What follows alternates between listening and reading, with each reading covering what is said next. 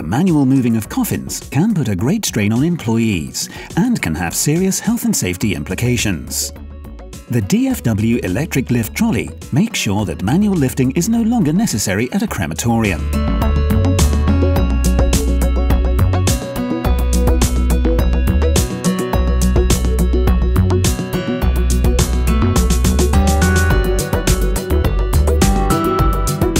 The lift trolley is equipped with a roller table, which makes it easy to position the coffin. Once a coffin is on the lift trolley, it can easily be locked into position with the integral electric friction plate. A single press of the button raises the friction plate which locks the coffin in place.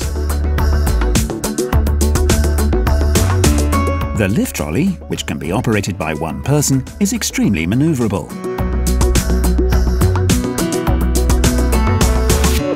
With the roller table design, the coffin can be transferred from the lift trolley onto the automatic charging bier in front of the cremator. The lift trolley can also be used in the chapel, mortuary and cooling room. The lift trolley can extend up to 150 centimeters in height, allowing a coffin to be placed on a high rack within the cooling room. The DFW lift trolley is supplied with a CE mark and can carry up to 250 kilograms.